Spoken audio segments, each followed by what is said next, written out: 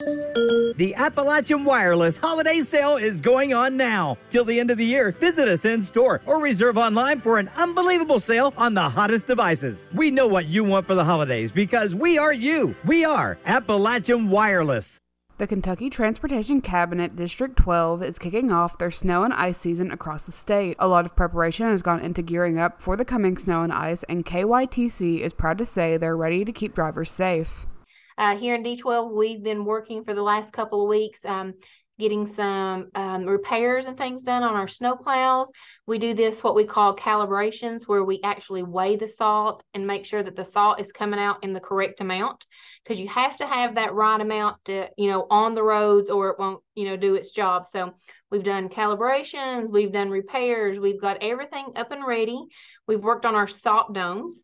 You know, in D12 alone, we cover over 2,000 miles of roadway. Alongside the kickoff to snow and ice season, KYTC is also holding their first ever Name the Plow contest where you can decide on the name of one snow plow in your district. We really want the public to, uh, you know, uh, have a hand in on our snow and ice and really feel like uh, they're part of, you know, the district just as well as us and, and, and the motorists. So we want to pair together. So we have this competition going on. It's called Name the Plow.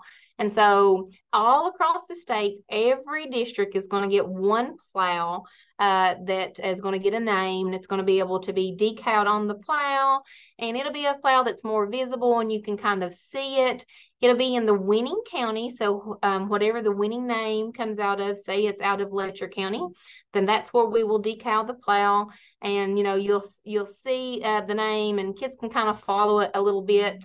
To vote in the Name the Plow contest, you must be a Kentucky resident, the name must be family friendly, and no copyrighted names can be used on the plow unless they are included in a play on words. Kentucky residents can submit names for the plow until December 2nd. You can make your submission by following the link on the Kentucky Transportation Cabinet District 12 Facebook page. For Mountaintop News, I'm Kelsey Dean.